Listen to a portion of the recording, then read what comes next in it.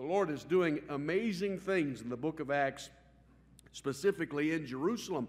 And then we know that the Lord then brings persecution into the church, and the believers begin to scatter and they go in different directions. And then we watched and we charted here in Peter's life his interaction where the Bible gives us particular people along the way that Peter would have dealings with. We saw where he stood before a man who had been a high priest, a man who had been around for the ministry of John the Baptist, would have been around during the ministry of Jesus, and then even Peter would stand before him. And that man's name means the Lord is gracious. And we saw the graciousness of the Lord in that threefold witness that he would have had of John, Jesus, and then Peter. And then we saw as he stood before another who was on sitting on the fence, that one guy who was the teacher uh, who, on, uh, to the apostle Paul, Gamaliel, and we see where Peter would even be in front of him, and he would have thoughts regarding that.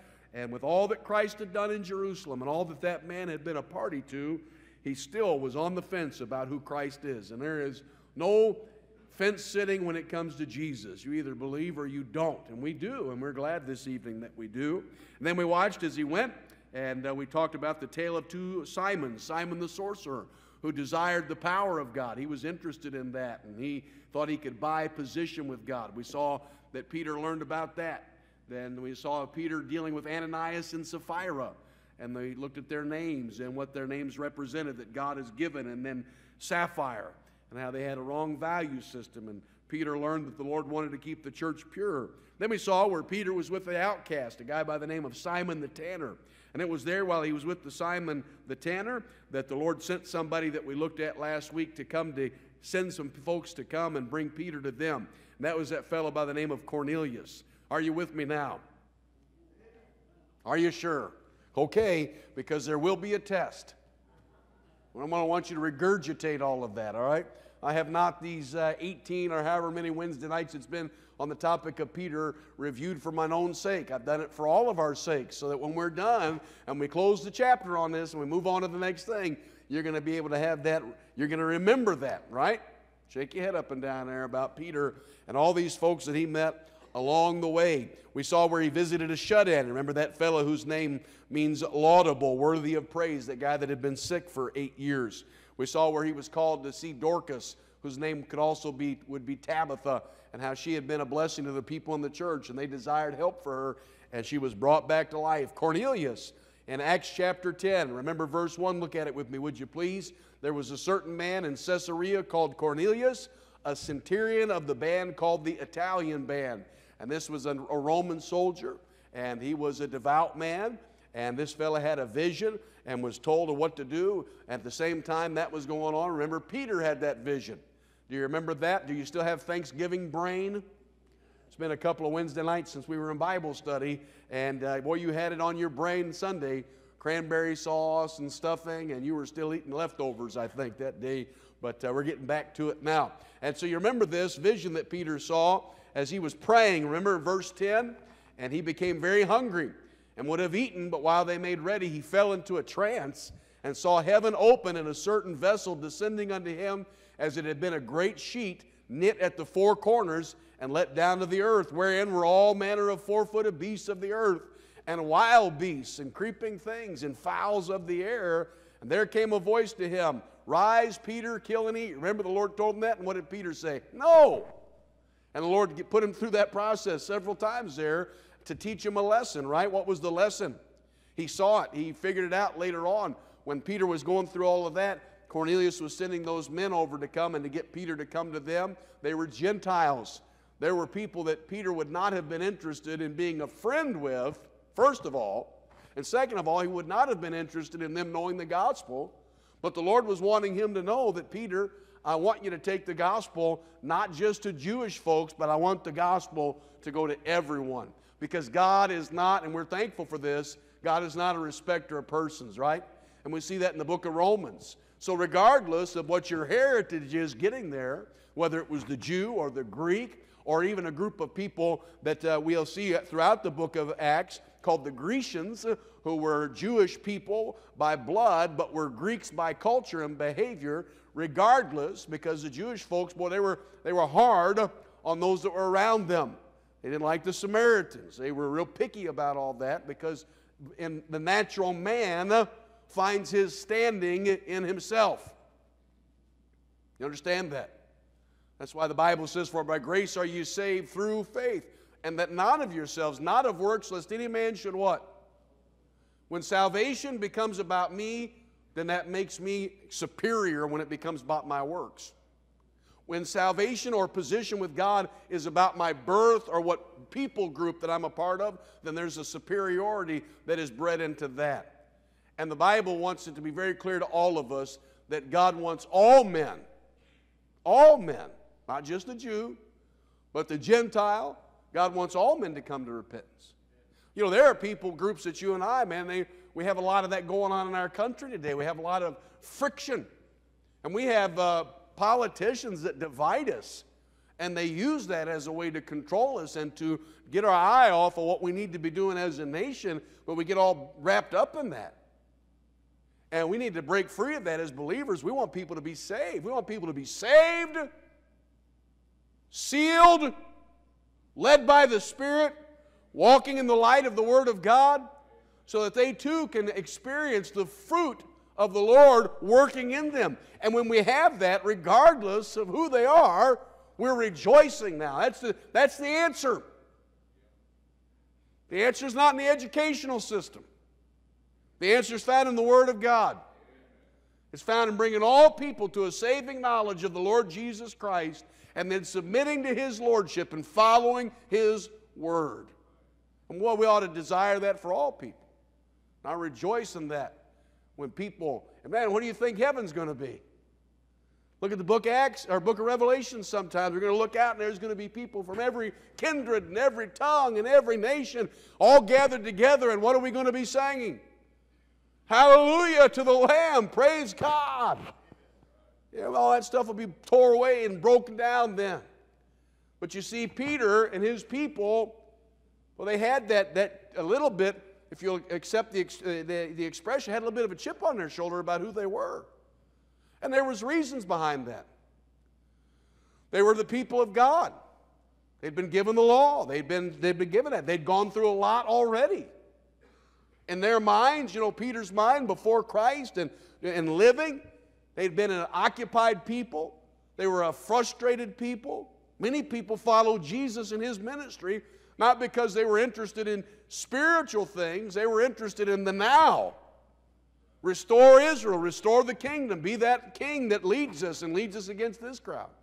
And many of them stopped following when they saw that that wasn't going to happen. They felt as if he'd failed. And so for Peter, there was still things that Peter needed to learn. So the Lord was teaching him.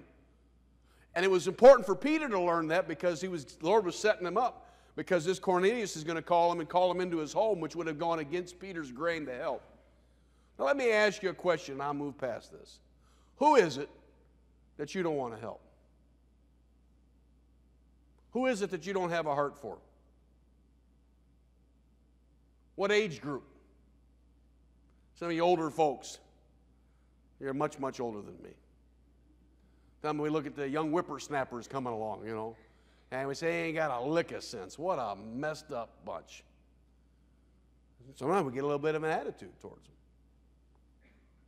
They don't know how to work. They don't know how to do this. They don't this and that, you know.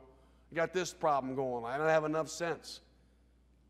Well, if we're not careful, if we don't reach into this generation with the gospel, if we don't seek to win them to Christ and then seek to establish them in the Word of God and teach them to be led by the Spirit, what, what will become of us? And what group of people is it? Well, quiet, isn't it? Lord wants people to be saved. Now, our job is to win them, teach them, so that they can do the same. You want to make a profound impact, you're not going to do it through social programs, you're going to do it through the spiritual program, and it's God's program. And that's the local New Testament church, and that's what we're called to do. And so I rejoice that you can look out on a Sunday or a Wednesday and you can see people from all walks of life and all generations and people hearing the Word of God and being established in it. I'm thankful when there are people who are unruly and need to be taught how to behave. I'm thankful for youth that sometimes disrupt the service because they're not accustomed to being in church, because they haven't had anybody to come and sit with them and show them how to behave in church. That's all right. You'll be all right. You're, not, you're only listening 50% of the time anyway. We're glad for that. We want to reach people, amen. And Peter needed to learn that, and God was teaching him that. So Cornelius would send for him, and we talked about all that. Then we come to Acts chapter 11. So remember now, when these folks got saved and they were non Jews, they were Gentile people, the Bible says in verse 44 of chapter 10, while Peter yet spake these words, the Holy Ghost fell on all of them which heard the word, and they of the circumcision which believed were astonished, as many as came with Peter. Peter had people that came with him, because that on the Gentiles also was poured out the what? The gift of the Holy Ghost. For they heard them speak with tongues and magnify God. Then answered Peter, Can any man forbid water that these should not be baptized, which have received the Holy Ghost as well as we? And he commanded them to be baptized in the name of the Lord. Then prayed they him to, to, to tarry certain days. Now look, the Bible tells us this, and I don't have, I don't, this is not the place for it tonight, the time for it, but the Bible teaches us that the Jewish people require a sign. And so these Gentile believers received the gift of the Holy Ghost and began to speak in tongues and magnify God, not so much for them as much as it was for the Jews who had come with Peter to be able to say, hey, they got the same thing that we got. They're, are also those pro- that promise that, that God had given to them through the prophets of what would happen when the Messiah had come, that working that would go on, that was unfolding in front of them. You see, the people of Israel, boy, would to God they'd have opened their eyes as a nation and their hearts would have been open at the time that this outpouring was taking place. But they didn't. They did not. But that evidence of the Holy Ghost there, and so now today there are groups of people who say, if you're not saved unless you have and you demonstrate the gift of the Holy Ghost and talk in tongues. Well, that, obviously, there's several things that would be dangerous about that, but if somebody told you the only way to know for sure that you're saved is that you speak in tongues, guess what you would want to do? I'd be figuring out a way to speak in tongues, wouldn't you? And that's not what happened. Nobody was figuring anything out here. The Holy Ghost came upon them and they began to glorify God in tongues. And Catch this the Jewish believers that were with Peter, they understood what was going on. This wasn't a big gibber fest. And I'm sorry if that's your background, but that does not bear out in the scripture. And I'll be glad sometime to sit with you and take you through that. The other thing about that is that also means that once the Jews who require a sign, once things shifted away from the Jew to the Gentile, then many of those signs that were manifest in Peter and others began to cease. Why? Because in God's economy, the sign was for the Jew, and when the gospel shifted to go to the Gentile, then those things came to an end. And if you don't believe that, then just accept this and don't get upset about it. And don't get, I had this conversation on vacation years ago with a gentleman. I started witnessing to him, and we got into this stuff about the book of Acts and the signs and whatnot. And I said, Well, when was the last time God shook the ground somewhere where church was meeting? They had a prayer meeting. Because let me tell you something, if that was going on, we'd all know about it. How about this? When was the last time God raised up the dead from an apostle, one of these modern day self proclaimed apostles? If Oral Roberts could heal people, why do he have a hospital? It's okay. That doesn't shake me. It doesn't, it doesn't disappoint me, right? You're not going to walk by and grab the hem of my garment and be healed and have your issue of blood that you've had for years instantly dried up and me turn around and say, hey, who touched me? I just healed somebody. But people were getting in the shadow of Peter. Peter walking by and they're getting healed. It doesn't rattle us, it doesn't affect our perspective. We understand what God was doing. God was showing himself to the Jewish people in such a way, saying, Hey, I'm here. I've been here. I've gone. This is what's going on. It's that time. And what do they do? They like that one guy that we talked about, Gamaliel. What was he saying? He's still on the fence. Well, let's see what happens. Let's see where this goes. And so here we see this. Now, this is important. Go to Acts chapter 11 with me if you're not too mad at me. And the apostles and brethren that were in Judea heard that the Gentiles had also received the word of God. All right? So Cornelius asked them to come, and the people back home they hear this because you have to remember now, predominantly the church in Jerusalem is Jewish people that have gotten saved. Now that we, we'll see in Acts chapter 11 that there are people now that are beginning to go into various places and other group people groups are being preached to and are being saved, but that's predominantly it. Well, if I'm a Jewish person and a Jewish Messiah came, he died uh, on the cross, he was buried, he rose again, and I'm experiencing all these signs, and I have that mindset, you know, that we're the people of God and this is the work of God that's going on. They're not so open to even knowing how other people other than Jewish folks could be saved. I, probably in some cases they didn't want them to get saved. Would you want a Roman soldier who was occupying you? Would you feel real good about him saying, I'm now also a part of the kingdom of your Messiah? There would be some things, there would be some natural friction there, there'd be some problems with that. And so here in Acts chapter 11, verse 1, and the apostles and brethren that were in Judea, so apostles is leadership, right? Who is that? That's James. That's the others that are in there. That's those apostles there. And brethren, that's the saved folks there that were in Judea, heard that the Gentiles had also received the word of God. Now, how did they hear that? Peter and those Jewish men that had gone with him, they saw that these men heard the gospel, responded to the gospel, that the Holy Ghost manifested himself there, and that sign was there, and that news begins to travel back. Hey, they got what we got. And when Peter was come up to Jerusalem, they that were of the circumcision contended with him. That expression, circumcision, is a general title to given to the Jewish people, to the Jewish believers. They contended with him, saying, Thou wentest into men uncircumcised and didst eat with them. That's an offense to go in and have dinner with them. You didn't keep their company. That's how strong that was. And these are people that he went in with.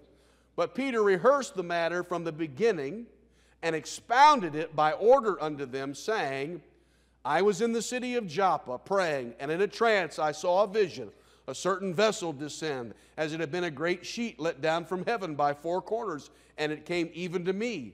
Upon the which, when I had fastened mine eyes, I considered, and saw four footed beasts of the earth, and wild beasts, and creeping things, and fowls of the air. And I heard a voice saying unto me, Arise, Peter, slay and eat. But I said, Not so, Lord. For nothing common or unclean hath at any time entered into my mouth. But the voice answered me again from heaven, What God hath cleansed, that call not thou common. In other words, what God has said you can eat, you eat. And what God was saying there about the man, mankind was this if God says, I want them to be saved, then they're in a position to be saved. You go to them. And this was done three times, and all were drawn up again into heaven. Verse 11, and behold, immediately there were three men already coming to the house where I was, sent from Caesarea unto me, and the Spirit bade me go with them, nothing doubting. Moreover, these six brethren accompanied me, and we entered into the man's house. That's the six that were witnesses of what the Lord did. Verse 13, and he showed us how he had seen an angel in his house. This is Cornelius, which stood and said unto him, Send men to Joppa and call for Simon, whose surname is Peter, who shall tell thee words whereby thou and all thy house shall be saved. And we referenced that last week. That's why, in my opinion, Cornelius got saved when he heard Peter, because he, he was a man looking for God. He was a man who was a, a, a person who believed in God, but he didn't know the way of salvation. And you know what? How could he without a preacher? There's a lot of people in the world who are they're looking to God. Not everybody's an ignoramus when it comes to figuring out that somebody created all that there is. You look up at the heavens and you figure that out. You look at the seasons, the order and the structure. And they need preachers. They need us to go in to take the gospel. And that's that great struggle because the devil likes to blind them and keep them blinded to these things. And so here we have him getting saved and those in his household. verse 15, as I began to speak, the Holy Ghost fell on them as on us at the beginning. Then remembered I the word of the Lord, how that he said, John indeed baptized with water, but ye shall be baptized with the Holy Ghost. For as much then as God gave them the like gift as he did unto us, who believed on the Lord Jesus Christ, what was I that I could withstand God? Who was I to tell him, no, you can't be saved? No, you can't have this. You can't be a part of this. When they, that's the brethren, that's the apostles, those that were of the circumcision who were contending against this, when they heard these things, they held their peace and glorified God, saying, Then hath God also to the Gentiles granted repentance unto life. Now they which were scattered abroad upon the persecution that arose about Stephen traveled as far as Phoenix and Cyprus and Antioch, preaching the word to none only, but unto the Jews, but the word to none, but unto the Jews only. And then in verse 20, we'll see where some folks will go and begin preaching to the Grecians. And so here's the point. Peter, at this particular time, here, let me drop back a slide. Peter and the Jewish believers, first of all, there's the accusation.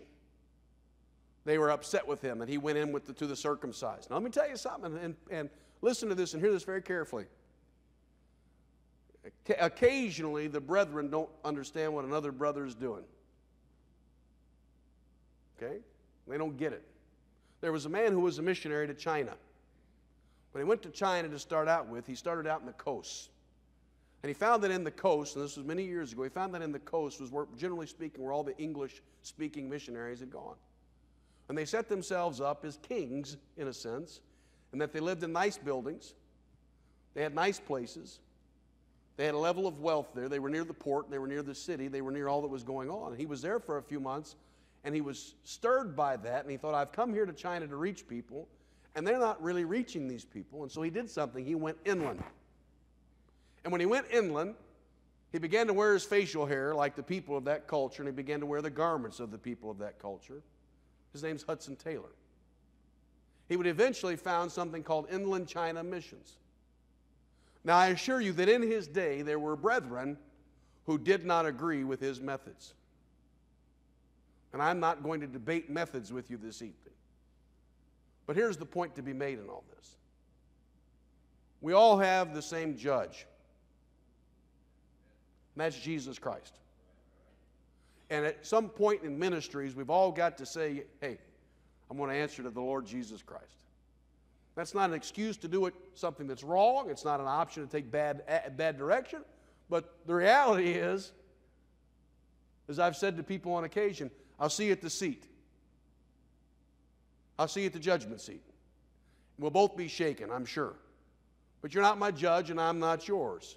I'm his servant, and I'm serving him. And so Peter had people who were against him. They didn't like what, how he went and where he was doing. They assumed things. But this is one thing to remember. After Peter presented his situation to them, they listened. They're, they were able to communicate that through. I'm afraid that there has been at times such unbelievable division amongst people who, generally speaking, desire the very same things.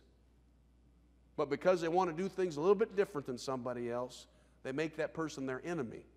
It doesn't necessarily mean you're going to do everything with them. It doesn't necessarily mean you agree with everything they're doing. But like Jesus said, if they're if they're preaching the gospel, if they're sharing my name, like Paul said, listen, whether it be by contention or for whatever purpose, if the name of Christ is being named, let's rejoice and that it's Jesus' name being proclaimed. Well, I don't like this about them. Hold on. Do they lift up the name of Jesus Christ?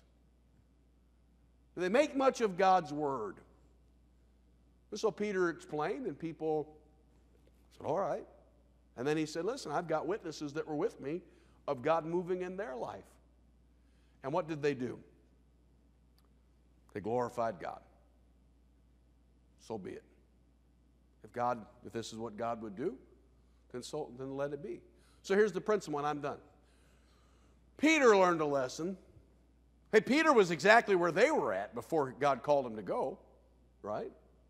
The Lord taught Peter something, and Peter came back and he said, Now let me teach you something. Let me teach you what the Lord has taught me. That's called growth, that's development. And as the Lord brings us along through His Word and He develops us, that's a good thing. It's a good thing, right? And aren't we thankful this evening that the gospel didn't just go to the Jew? First to the Jew, then to the Gentile. Well, that's you and I. And I'm thankful this evening that Peter learned that lesson. I'm thankful that Peter did that, was willing to take that gospel in. And I'm thankful that those people heard that and received that and they went forward. You know, there, there's a lot of good stuff in the Word of God when we just put a little thought into it and ask the Lord to teach us things and bring us along, and He will. And I see where He brought Peter and this crowd along. And then, I want you to notice this, verse 20. And some of them were men of Cyprus and Cyrene, which when they were come to Antioch, spake unto the Grecians, preaching the Lord Jesus. So when the Lord taught Peter that lesson, and Peter took the gospel to the Gentile, and that word came back to the brethren, and they listened to that testimony, and they heard that the Lord wanted to save people other than the Jews, what did they then do? They began to branch out and preach the gospel to other folks. And people began to get saved, and there's no telling. You know, sometimes we read the book of Acts and we see where the travels of Paul, and we think of those particular works that Paul went through. Those weren't the only churches that got started. There are churches that got started by disciples and by people who would hear and go that went all around the world that oftentimes in the Bible we don't see their story, but we read about them in history and we find out about them. You know, that's a fascinating thing to me. There are going to be so many things that we're going to learn when we get to heaven about the impact of one person and how that was far reaching, that ripple effect.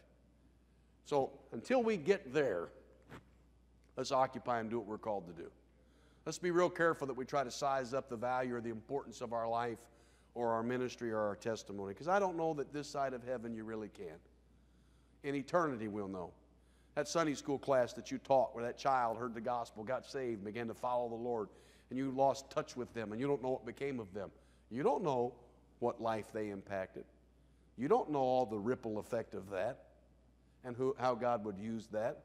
Let's just be faithful and let's be soul winners. Amen? Let's get the gospel to everybody. Get you a pack of tracts tonight, load up with the tracts, and as you're going out through life tomorrow and the day after, get a tract passed out to somebody and tell them about Jesus, want them to get saved, pray for people to get saved. Let's be faithful to that. Tomorrow morning we'll go out at 10 o'clock if that works for you. It's getting awfully dark at night. And uh, we've been going on Thursday nights at 6 o'clock, and it is, it is pitch black by 6 o'clock on Thursday night. So if you would like to go tomorrow night, if that's something you'd like to learn to do, I think what we're going to start doing on Wednesday nights is we're going to talk about who wants to go on Thursday night and try to group up and know where we're going ahead of time uh, so we can get after it. But that'll help us to organize that. Come Saturdays, because of uh, me being in a position needed to drive a bus on Saturdays, it's created it where I'm not able to get to the church on Saturday mornings until 11. And so rather than having soul winning at 10 o'clock like we have for years, we're going to move it to 11 so that I'm able to be here to help with that. And we're going to kick it off. And I'm going to challenge you when we get going in the new year. I understand you can't go every week, perhaps, but I want to encourage you to go at least once a month. I want to encourage Sunday school teachers and workers come out and go and get bit with this bug of winning people to Jesus Christ. We're seeing people saved every week. You don't see it like I do because you're not, you don't get to see all the cards and the information coming in. But I believe this. I believe the Lord would lead you and use you to lead somebody to Jesus Christ. And I really believe that we can make a difference in our community for Christ. But it's going to take an effort from all of us. It's not just a few of us, it needs to be all of us. And we're going to help you with that. And we're going to restructure some things, try to have some training, and try to get you involved in that and engaged in that as we go forward in the new year. And I'm thankful for that good testimony of others and what they've done. Amen? Let's all stand together. Can we please? It's been a good night. Thank you so much for being faithful. Appreciate that good time of prayer that we had this evening, gentlemen. Thank you for that. Let's go to the Lord in prayer now, and we'll be dismissed, shall we? Father in heaven, thank you, thank you, thank you for being so good to us. Thank you for the gospel and the good news. Thank you, Lord, for the people that you used in my life to bring the gospel, that preacher that came by and witnessed to my parents, and then those Sunday school teachers and workers in my life that sowed the gospel seed. And then, Lord, thank you for uh, that wonderful, wonderful day when you saved my soul. Lord, help us to never, never, never, never get over that. Lord, help us each to be mindful of the others, of the others around us and their need for the gospel. Lord, help us to be faithful in that endeavor of bringing people to Jesus. Thank you, Lord, that you taught Peter and those in his day that you were wanting not just a Jew, but all men to know you and to come to you by sal- uh, through salvation by grace. Help us now, Lord, as we go forward. In Jesus' name we pray. Amen.